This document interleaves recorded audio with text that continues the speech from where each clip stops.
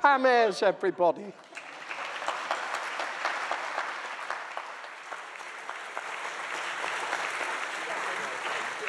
Thank you very much. Oh, wow. Good afternoon, everybody. It's a great thrill to be here. Um, when Robin asked me to speak here, I said, Well, I write funny poems, or I try to. Uh, what, what, do you want me to say? And he said, Oh, you know, talk about farming, animals, the country, give us a few poems. so, as I've only got 20 minutes, I better get cracking, I think. Um, uh, I want to start off by talking about the fact that we have recently downsized, my husband and I. And uh, we downsized from a house we lived in for 28 years. And it was a nice old Georgian house, too big for us, but it was a nice house. And it had 20 acres of land. And I've always been very interested in wildlife, and always what my mother said. Uh, she always used to say I was too soft.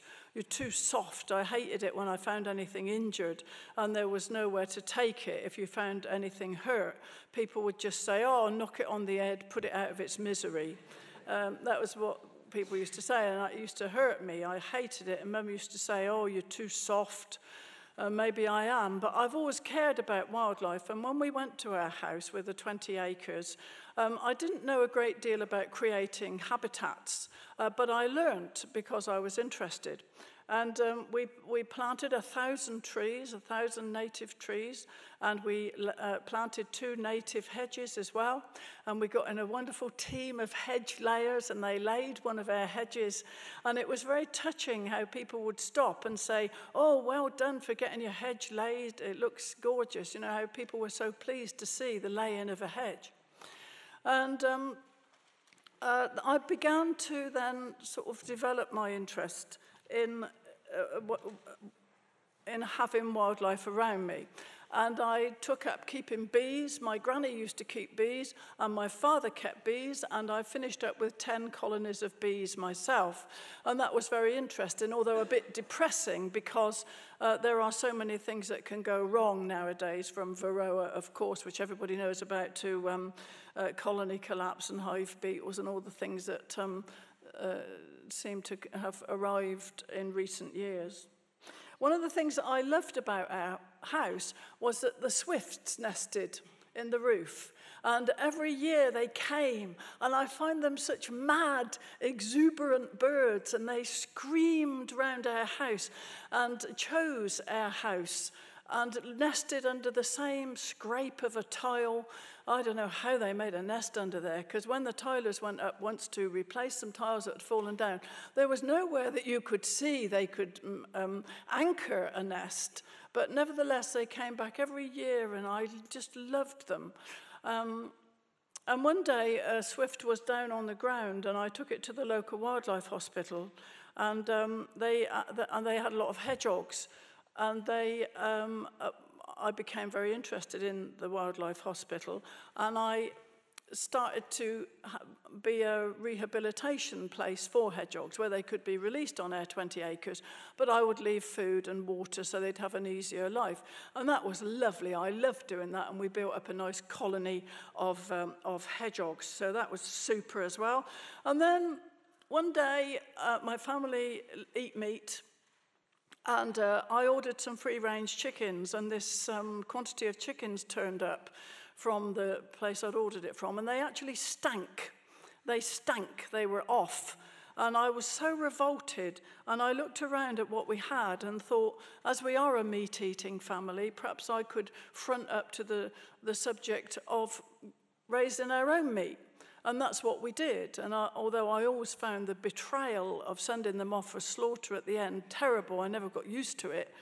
Um, it it seemed to me to be a logical thing to do if you could. And so we had Dexter Cattle, and I had nice people from the Dexter Cattle Society who helped me. Um, we had Cotswold sheep, and we had Tamworth pigs from lovely Joe Henson, and we fenced off a brambly area. And these Tamworth pigs would be out there prizing it all up with their noses, and they would climb up a sycamore tree. They would put their front legs on a sycamore tree and lift up the bark and crunch up the snails that they found underneath. And I, I loved it. And I had a lot of bantams, and I put some guinea fowl eggs under the bantams uh, so that this bantam hatched out a, a great. Um, uh, group of guinea fowl. And it was very funny because the guinea fowl, of course, soon start to fly. You know, and so they would all fly off across the field with the, with the bantam running after them, saying, saying, wait for me. And so, so it was absolutely thrilling. I loved it. And uh, when we left, we left because um, our family left home and um, uh, uh, and um, it was always a big house, and the roof needed to be done, and it needed to be rewired, really. And we thought we'd let somebody else have the pleasure of, um, of carrying that out. But it broke my heart to leave. It was so awful because all the trees and shrubs that grew there had been given to me as gifts. I never wanted any jewellery or, or furs, thank you very much. I always asked people to give me trees and shrubs and roses and creepers and such like. And um, so it was very, very hard to walk away. And so this is a poem I wrote. And, and also, I hated the house being on the market. It was deadly. People walking around your house and looking in your wardrobes and cupboards, I just um, loathed it. And I don't know if people mean to or not, but uh, they say hurtful things. Um, one family walking through our house, well, I heard the lady say to her husband, Well, um, I hope they take this carpet with them. you? and somebody else. and this other woman said to her husband, she said, No, it's not for me. I don't want a project. you know, uh, and then, and in my husband's office, in my husband's office at the last house before we left it, he had three posters up mm, because they were sort of important moments in my career. And one was a poster taken down from outside the Sydney Opera House when I played the Sydney Opera House. Uh, so there's a big picture of that. And then there was a picture taken from, um, from the program for the Royal Variety performance when I was in that. It, my husband blew up the photograph and put it on the wall next to the one from the Sydney Opera House. And then uh, there was a picture of me receiving the MBE at the Buckingham Palace with my big hat and holding up my medal. So there's three, three pictures when you walked in. and, uh, and this family walked through. And the husband turned to his wife and he said, God, they're keen on Pam Ayres round here. So,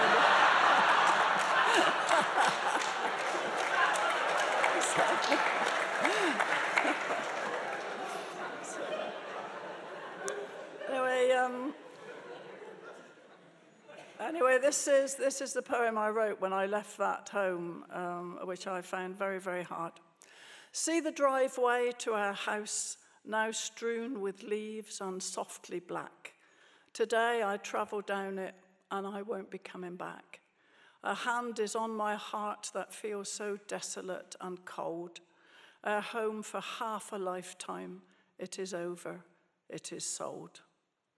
In this house, I cried and thought my heart would surely break, and felt more joyful happiness than was my share to take. This home wherein for 30 years we flourished and we shone is all to be dispersed, is to be scattered and be gone.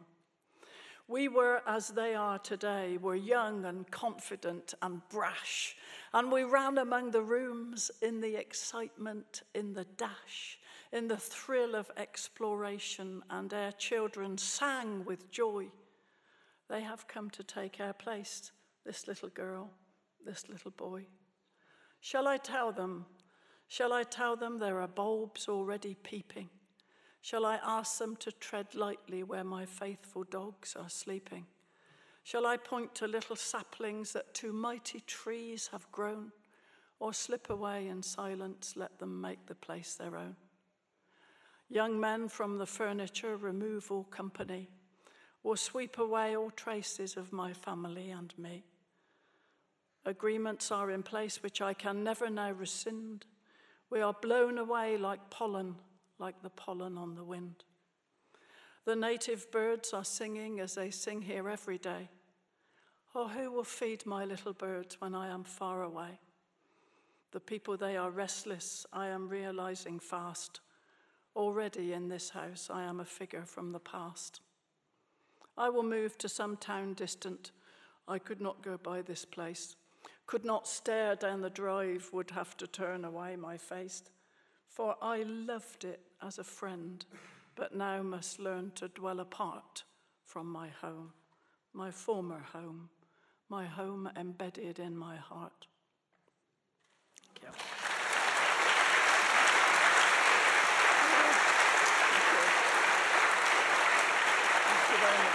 Now, anyway, it's not, um, it's not all gloom and doom because we then moved to a village house and, um, and I was absolutely desolate, to be honest. I was only aware of everything I'd left behind at the other house. As I say, we lived there for 28 years.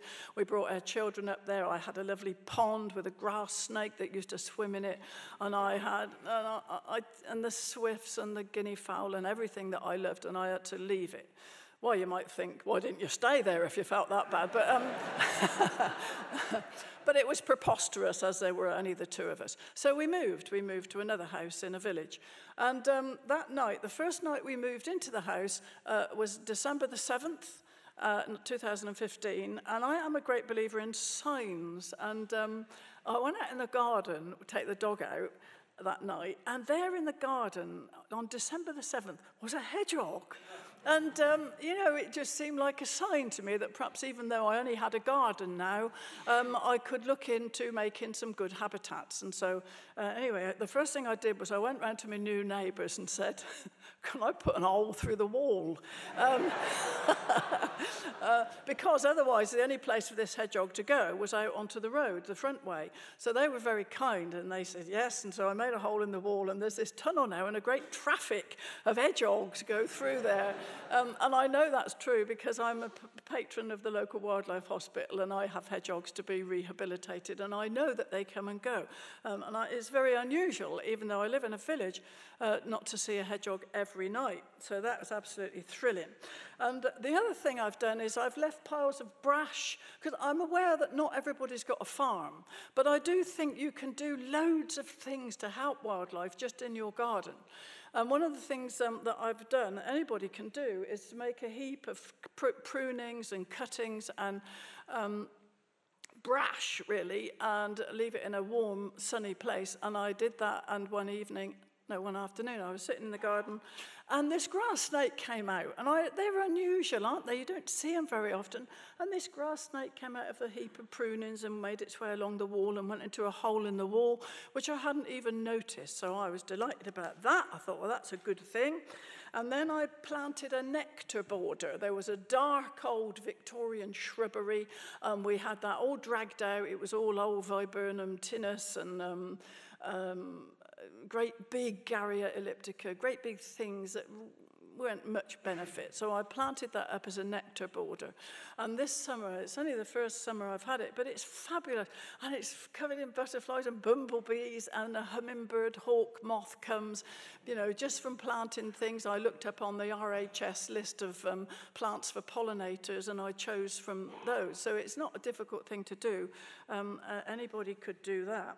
And um, the lovely thing is as well that in this new house, although I haven't got the Swifts and I mourned the loss of the Swifts, um, uh, we have got house martins. We've got about 16 house martins nest and they're like little orcas, these little black and white jobs that come every year. So I consider them to be a great compensation and I love to see them. Um, I'm also planting a fruity border. This is my own invention. I'm going to drag out the old beaten up plants and I'm going to put two Loch Ness blackberries on the wall. Uh, these are blackberries that haven't got any thorns and they produce a lot of fruit. And we've got lots of bank voles in the garden as well. So I wor I've worked it out that if the blackberries we don't want fall onto the ground, the bank voles will come and eat them and the tawny owl that's often around can come and take the voles. So um, uh, that's what that's. And I've also discovered that there is a mulberry, a new mulberry, uh, which is just a bush and it fruits in the first year. It's been developed in Japan, I think. And I've ordered two of those because I love mulberries and also that will be fruit for wildlife and also for us. Um, I've got two, got three hedgehog boxes. Two have been snubbed, and one is occupied by a hedgehog which is hibernating at the moment. So that's great.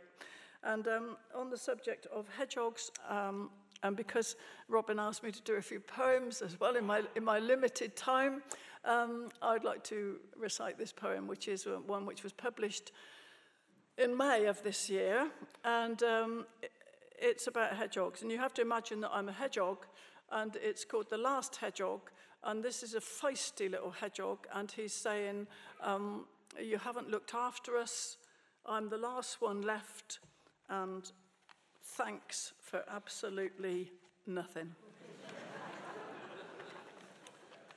uh, this is quite sad, but um, you're allowed to laugh at it. Um, and then I will wind up with something a bit more cheerful, as I don't want you all to feel depressed. oh, hang on, that's the wrong poem. I just brought all this because I, I, usually um, don't bring all the things I'm going to say, but I thought this is such an august place, I might feel a bit overwhelmed, so I brought lots of notes. Okay. Farewell, farewell for what it's worth from the final hedgehog left on earth. My cousin Henry, young and bright, went up in flames on bonfire night.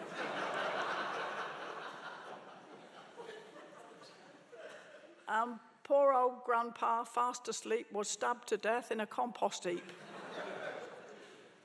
My grandpa, in one playful bound, fell in a swimming pool and drowned.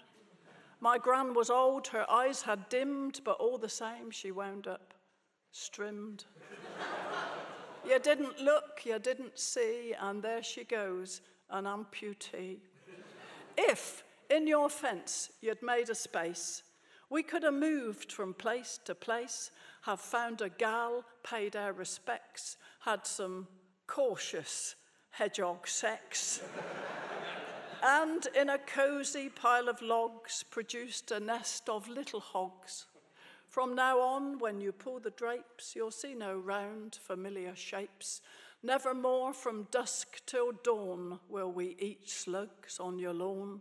So little gratitude you've shown, from now on you can eat your own. drowned, drowned in rubbish, drowned in junk. That's why our population shrunk. You threw down stuff you couldn't use, the plastic rings from packs of booze, polluted, poisoned, burned, and mowed, and run us over on the road. If you'd been a hedgehog's friend, you'd give your pond a shallow end. You'd leave a drink when gardens fried. You'd cover drains where creatures died, where walls are vertical and steep, and starving hedgehogs fall asleep. Like the owl which hunts the mouse, like swifts returning to a house, we fit like interlocking rings neatly in the scheme of things. This is the truth, these are the facts, the whole of nature interacts. And so farewell for what it's worth from the final hedgehog left on earth. In garden netting tightly wound, I have no hope of being found some curtain call, some final bow. You crocodiles, start crying now.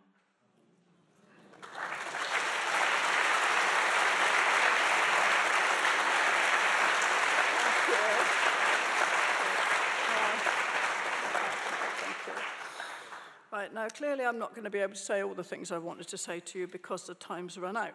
Um, so I just wanted to say um, that it's very hard not to look back. I know you can't turn back the clock, but it's hard. Um, when I was a kid growing up in Stanford in the Vale, we lived in a row of council houses, and you could scramble down the bank to the back fields, we called them. And there was a great big tall blackberry hedge, and you could prop a ladder up against the blackberry hedge because it was so thick and strong, and you could get an abundance of blackberries, and you could walk along, and there'd be a marshy area full of kingcups and marsh marigolds and frogs, and there was a stream, and there were always water voles in it, always. And, and my brother saw a kingfisher along there, and you could go out into the field and you could pick an abundance of cowslips. And we all picked cowslips, so there must have been so many. And we used to collect things called wiggle waggles, and I think the proper name is quaking grass, you know, the grass with bobbles on it that used to grow wild. And now it's rape this year and wheat the next, and rape and wheat and rape, and it's all gone. And I think it's so very sad, and I, and I believe in the CRT and all the things it stands for, and I just wish you um, all the very best, and uh, I hope you succeed wildly. And I'm going to finish, because I've run out of time now that's flashing at me. Well, not exactly flashing, but, you know, it's flashing. Um, with, um, with, this, with this poem, forgive me for I have run over a minute or two, but this is a very brief poem just to cheer you up. Um, I, I, I now live in a village. It's a very nice village. I've got lots of um, creatures in my garden. I'm very happy. I've got four grandchildren. I've got a very nice life. And just over the road is a good pub. Yeah, we've got a good pub, and uh, there's nothing I like more than to go over there on a Sunday with my husband and the papers and the dog and get a table by the fire and have a nice Sunday lunch. But unfortunately, they have started to do something which I don't like. And this is my poem. It's called Don't Put Me Dinner on the Slate.